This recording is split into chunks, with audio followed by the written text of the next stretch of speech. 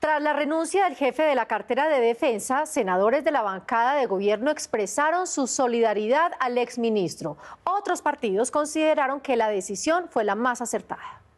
Ministro, usted le escondió a Colombia que ese día de septiembre bombardeó siete niños. Este y otros señalamientos desde el recinto del Senado fueron el detonante. Colombia lo demandaba, Colombia lo logró.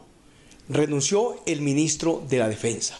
Solidaridad con los líderes sociales asesinados. Revelaciones que habrían dejado sin argumentos a Guillermo Botero para mantenerse en el cargo. Pienso que no le quedaba otra opción al señor ministro, la renuncia porque los hechos son muy evidentes. Un paso al costado considerado por algunos senadores como una decisión oportuna. Ni de ganador ni de perdedor, pero sí creo que entra a desestabilizar un poquito la institucionalidad y al mismo tiempo también desequilibra un poco el gobierno. Es decir, Botero se habría anticipado a la decisión que tomaría el Senado en la votación de la moción de censura. Los partidos Cambio Radical, el Partido Liberal, el Partido de la U, los Verdes y el sector de izquierda conformarían unas mayorías que permitirían que la votación se dé y quedaría separado del cargo de manera inmediata en la plenaria. No obstante, senadores del Partido Centro Democrático salieron en defensa del exministro Botero y destacaron su gestión al frente de la cartera de la defensa. Con mucha tristeza porque el doctor Guillermo Botero es un hombre honorable, es un patriota, es un hombre que muestra resultados y lo hemos visto en la reducción de los indicadores de inseguridad. Señalaron que pagó el precio de un error en las comunicaciones. El que se bombardee un campamento y se encuentren siete niños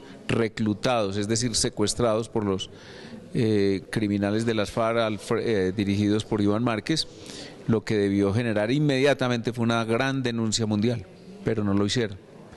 Y las consecuencias en un estado de opinión se, saben. Desde el Senado esperan que el presidente de la República, Iván Duque, no se tarde con el nombramiento del nuevo ministro de la Defensa en propiedad para no afectar la dirección de esta cartera.